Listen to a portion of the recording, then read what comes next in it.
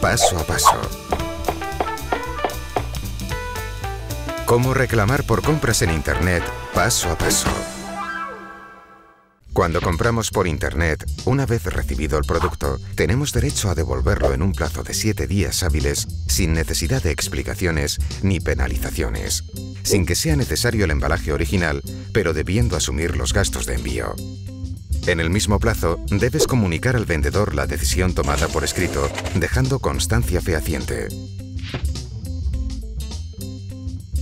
La empresa debe devolver el importe al consumidor en un plazo máximo de 30 días y en caso contrario, el consumidor tendrá derecho a reclamar el doble e incluso una indemnización por daños y perjuicios.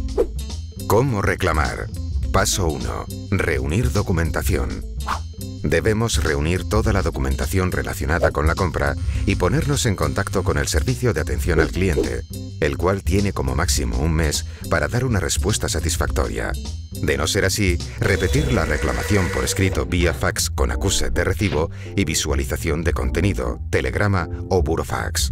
Paso 2. Solución amistosa. Debemos intentar una solución amistosa con la empresa. Paso 3. Requerimiento previo. En caso de no resultar la vía amistosa, es conveniente requerir fehacientemente al vendedor la solución de nuestra reclamación. No dará lugar a la reparación de daños y perjuicios. Paralelamente a la reclamación administrativa, tenemos que reclamar los daños y perjuicios por medio de una de estas dos vías excluyentes. 1. Planteando una demanda judicial sin abogado ni procurador para cantidades menores a 2.000 euros. O 2 planteando una solicitud de arbitraje por medio del sistema arbitral de consumo.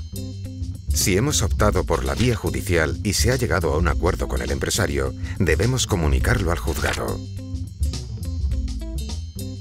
Si la transacción comercial se ha desarrollado en España o dentro de la Unión Europea, siempre será competente la jurisdicción del lugar de residencia del consumidor, que deberá acudir al juzgado de primera instancia de su localidad. Para asistencia o información, si la compra se ha realizado en un país miembro de la Unión Europea, podemos acudir al Centro Europeo del Consumidor en España, que se encarga de intervenir como mediador en quejas y reclamaciones. Podemos consultar más información en la página web www.cec.consumo-inc.es. Recuerda, los modelos los podemos encontrar en la página web www.ceacu.org